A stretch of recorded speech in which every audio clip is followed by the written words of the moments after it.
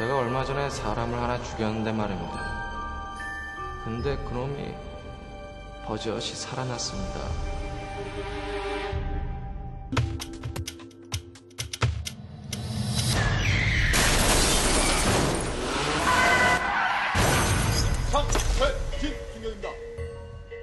형일 거라고 생각했어. 이건 또 뭐야?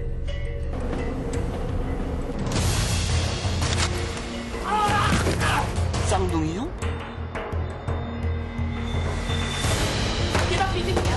혜진 씨 어딨어? 대진이 세상에 없어.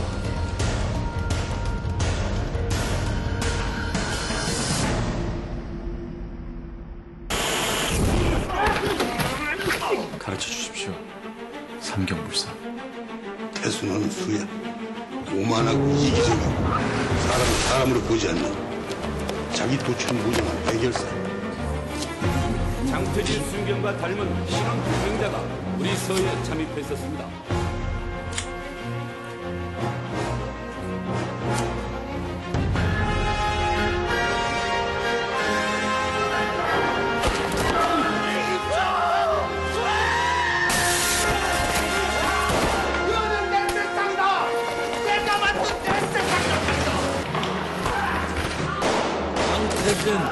그 새끼 틀림없는 해결사 수야.